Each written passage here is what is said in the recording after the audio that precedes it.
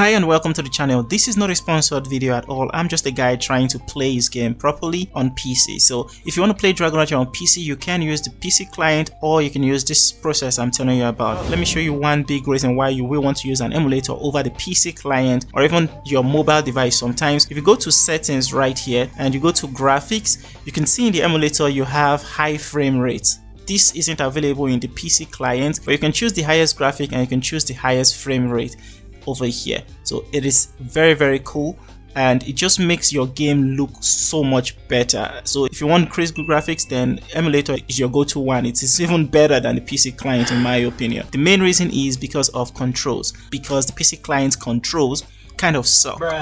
anyway, so you want to download Nox emulator. I have a video about LD Player 9 emulator, but it's not really playing Dragon Raja properly again. So I'll have a link in the description of this video so that will lead you to downloading this emulator where you can get it for yourself. And I'm going to explain in this video how you can get everything set up so the game doesn't keep crashing in the emulator and stuff.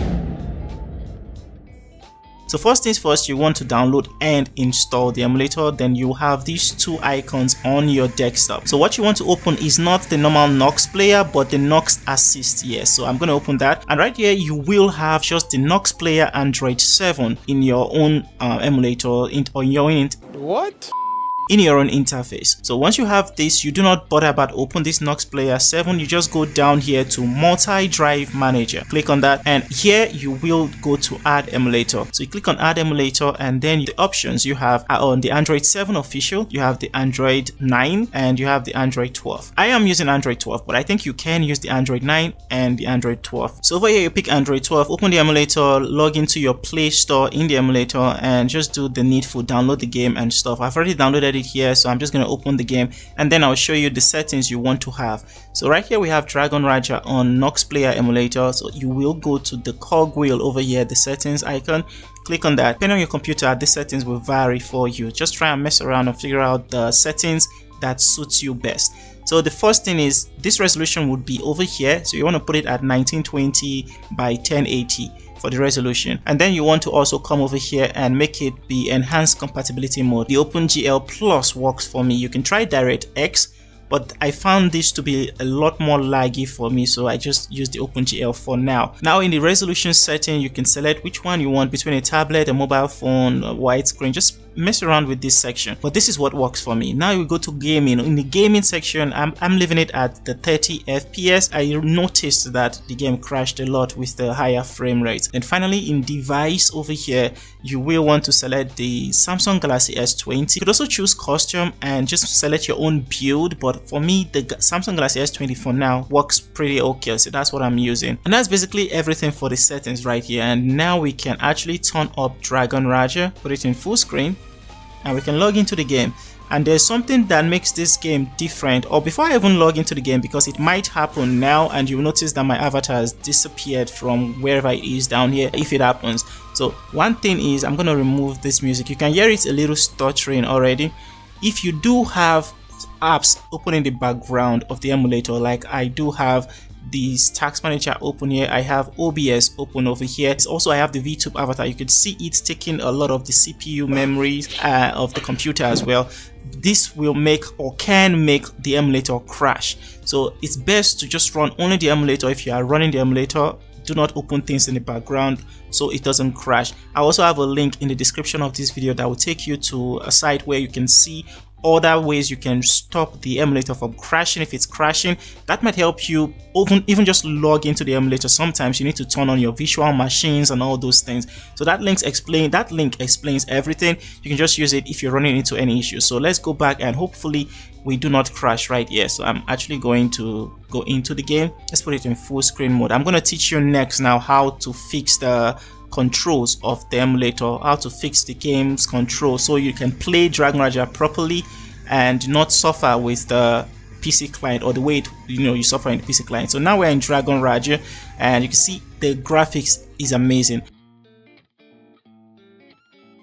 On the PC client, you didn't have the dash. There was no option to dash. I had to literally come here and click dash.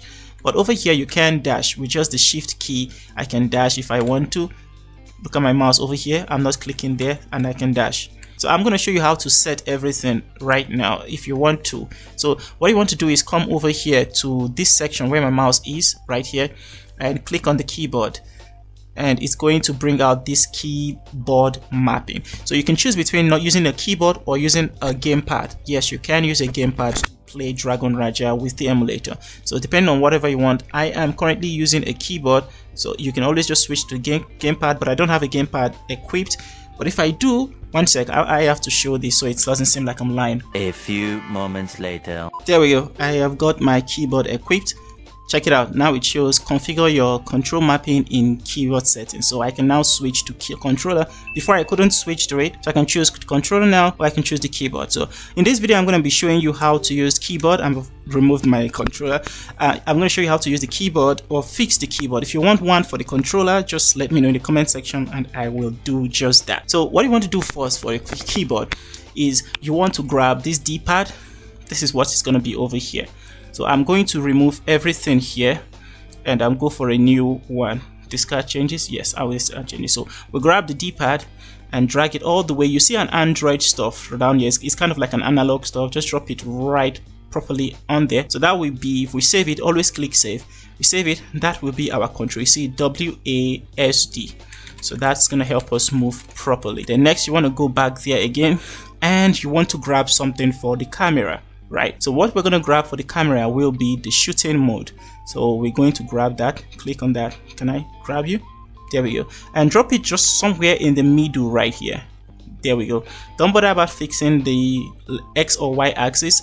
Just leave it at that. So now we have the shooting mode. All you have to do to enter the shooting mode is press the default button which has not been set properly. The default button is already arranged there. You can see it right here. This is the default button. It's like this sign on the keyboard. So you're going to click on it and i'm going to set it as right click so i just made right click on my mouse and now the default button is the right click on the mouse. So normally we have to be left clicking and holding to turn but now if we just right click we've entered the shooting mode and we can turn the camera properly. We don't have to you know left click and stuff so that's pretty cool.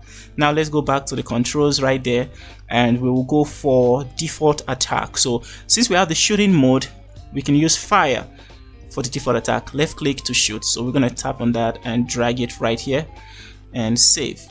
So now when we right when we left click normally it will not um, activate but when we right click first our mouse has disappeared. Now we left click we have our default that's the shooting mode now let's keep going. We're gonna go over to the actual mappings. We need to map all the entire SKU so just left click on any of the SKU section and put anything you want like number one click here number two click here number three click here number four and click wherever that one was and make it number five and save it right there. So now when you right click your mouse disappears. You can now control camera. You can also move properly. Then you left click it brings up the normal attacks. Then you have your one you have your two you have your three four and five. Just like that. So you have all of that already mapped out. So now we're going to go back there again and map out our other skills. So i'm going to make this q i'm going to make this e. Make sure you put it properly. I'll make this z and i'll make this x. And we save it right there as well. So now we have everything again right click. So we have everything equipped. This is our e this is our Q SKU so everything is arranged properly right now. So now all that's left is for this and maybe for the controls. So let's just mark that right here. I'll make this uh, caps lock. Put it right here.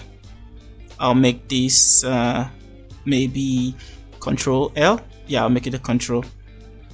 And then we also need to put our shift for dash. So click here put a shift and then we need to put our jump. There we go. So perfect. So now we can dash properly with our number three. Number two brings us down. All of this without you know going to click there without going to click here. So we can do all of that very easily. Now we need something to change this and to put on auto. So i think that's the last those are the last things we need. So i'm gonna grab something to change. We'll put this. I think i'll put tab to change right here to switch between targets. And then for auto I think I will actually change auto to be caps lock right? Or I could just put F for auto. You know what? I'll put caps lock as auto. Then I will remove this one over here the caps lock over here. And I'll probably just make it alt. And then I'll put a big F here for maybe when we get frozen or something. There it is. So and that is the controls for Dragon Raja that's everything you need to know about this Nox player emulator. Uh, there probably will be some more things. If you again if you want me to do the other video for controller setup to get the optimal controls for controller and just let me know as well in the comment section. And that's everything I want to share I wanted to share with you guys in this video. I hope you enjoyed the video. Don't forget to leave a like subscribe to the channel for more content. And yeah hope you enjoyed this. Go have fun playing your Dragon Raja on PC now. Take it easy guys and um, bye byes